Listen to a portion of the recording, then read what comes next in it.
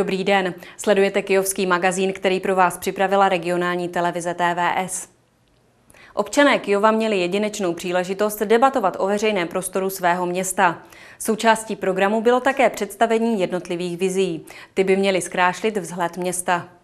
Pondělní odpoledne v kině Panorama patřilo netradičně architektuře. V jeho útrobách se diskutovalo o budoucnosti města Kijova. Akce se zúčastnil i starosta František Lukl. Chceme především představit široké veřejnosti architektonické záměry eh, mladých, eh, nadějných architektů, kteří mají k městu Kijovu vztah minimálně v tom, že se chtějí podílet na budoucí podobě našeho města a veřejného prostoru. Program besedy byl rozdělený do čtyř bodů, tedy oblastí, které by vedení města města chtělo dále rozvíjet. Architekti Václav Navrátil a Jan Sedláček mluvili o možnostech stavby krytého bazénu v Kijově. My jsme vlastně zvažovali dvě možnosti, dvě varianty. Jedna by eh, byla vlastně umístěna u stávající školy a fungovala by jako bazén pro využití vlastně pro žáky a zároveň by mohla eh, fungovat pro hm, veřejnost a víkendu vlastně jako relaxační bazén.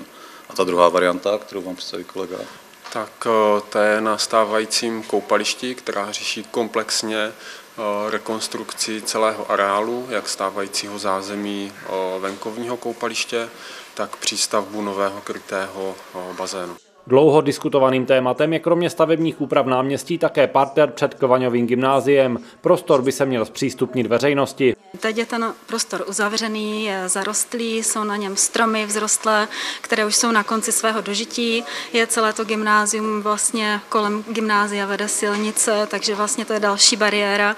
Takže vlastně cílem bylo ten prostor nějakým způsobem prostě otevřít pro veřejnost. Součástí diskuze byly i možnosti urbanistického rozvoje města podle představy mladého architekta Pavla Řiháka. Závěrečná vystoupení si připravil taneční obor Kijovské základní umělecké školy. Jako každoročně o ně byl velký zájem. Ne jedno, ale hned čtyři taneční vystoupení si na konec roku připravil taneční obor Kijovské základní umělecké školy. Dvakrát musel svůj program opakovat dopoledne pro děti z kijovských škol, dvakrát pak odpoledne pro dospělé. Dnešní vystoupení si připravila paní učitelka Jolena Součková, která u nás na základní umělecké škole v Kijově eh, vede taneční oddělení. Eh, děti se představí úplně všechny. Eh, finálem nebo takovým bombonkem bude krásný, krásné pásmo příběh. Je to o lásce, o nenávisti, o tom, jak bychom to chtěli na tom našem světě mít. Žákyně a žáci Kijovské základní umělecké školy začínají prvními tanečními krůčky. Postupně se ale dostávají na vyšší a vyšší úroveň, jak ve výrazovém tanci, tak v klasickém baletu.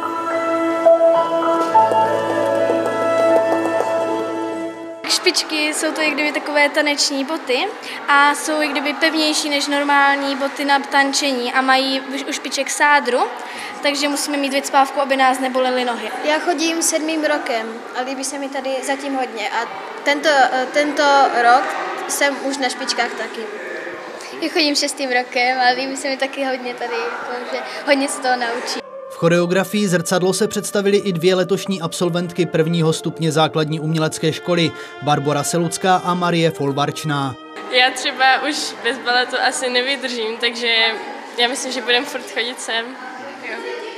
Jo, ano, taky tak. Já si myslím, že nám to hodně dalo, že jsme poznali super kolektiv a mega jsme se skamarádili a poznali jsme spoustu zážitků. O taneční obor základní umělecké školy v Kijově je velký zájem, takže se do něj nedostanou všechny děti, které by ho chtěli zkusit.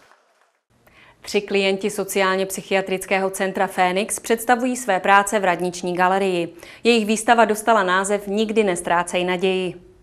Andrea Kutálková, Petr Petráš a Lucie Tvarůšková mají společný zájem o výtvarné umění. Všichni tři jsou taky klienty sociálně psychiatrického centra Fénix a teď je spojuje i společná výstava v radniční galerii v Kijově. A jsou velice odvážní, protože jdou z kůží na trh a vlastně se svým způsobem přiznávají k tomu, že si prošli tím duševním onemocněním, ale vlastně uh, idea té, té výstavy je nestrácet naději a je to nějaký message i pro ostatní lidi, pro zdravé lidi. Petr Petráš vystavuje především akvarely a částečně oleomalby, což je technika, kterou používá i Andrea Kutálková. Lucie Tvarušková vyšívá křížkovým stehem. Já jsem maloval vlastně už od dětství, jako od té chvíle, co jsem poprvé dokázal udržet tušku a bavilo mě to a jsem studoval umění. Sice ze zdravotní komplikací jsem potom přerušil studium a nadále jsem se tomu věnoval amatérsky. Já jsem začala malovat už dřív, protože mi to hrozně bavilo a hlavně vyjadřuju své emoce tím malováním. Taky skládám básně, tam taky vyjadřuju své emoce. Mi bylo nabídnuto, že vlastně bych mohla některé své práce vlastně dát k prodeji, vystavit a že by o to mohl být zájem. Co by to vlastně dělalo? Já vyšívám obrazy křížkovým stehem, a dělám to, protože mě to baví, nikdy jsem to nechtěla dělat pro prodej, jako že bych z toho chtěla těžit, prostě je to čistě jenom zábava a já u toho relaxuju. Výstava má dobročinný charakter. Myšlenka uspořádady vznikla právě proto, že se Lucie Tvarušková dostala do finančních potíží. Ty ale mají všichni tři klienti. Peníze vybrané za prodej prací by proto měly sloužit právě jim.